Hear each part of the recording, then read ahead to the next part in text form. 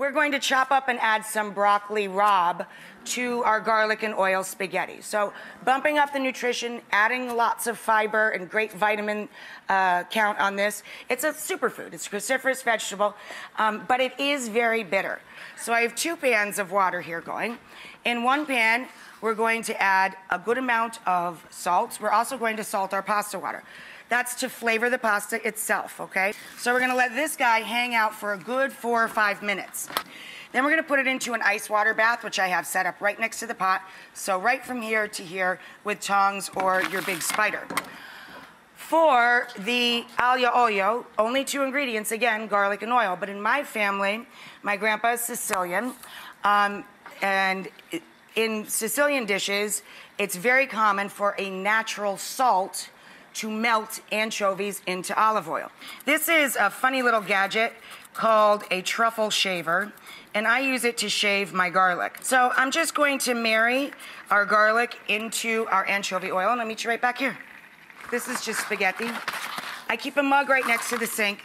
Why? Because in Italian cuisine, we always marry the pasta to the sauce, no matter what the sauce is.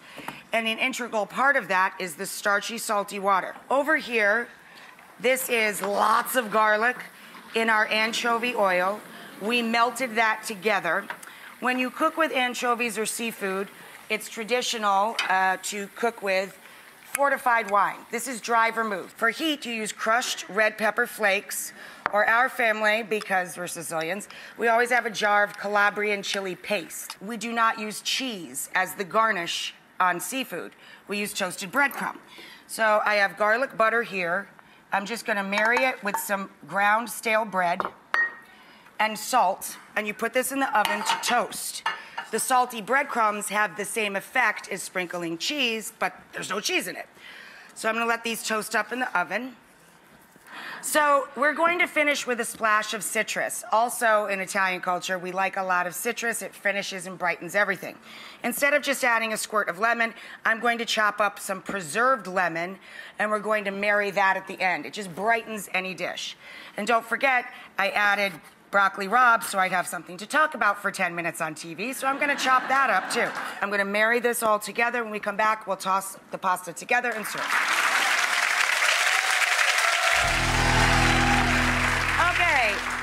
Here is how you marry pasta and sauce. I've added the broccoli rabe or the rapini to our anchovy garlic oil with chili paste or chili flake.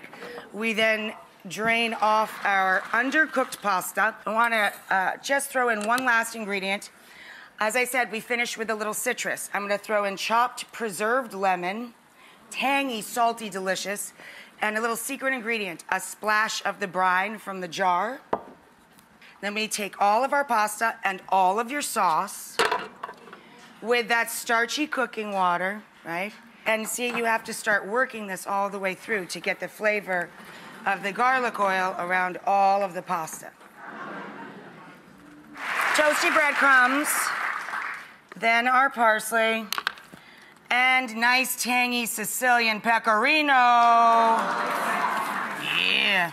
Actually, pecorino's Roman, but whatever. It's salty. it's salty, tangy cheese. And we're gonna mix that all together with our fingertips. And then we're gonna make it rain.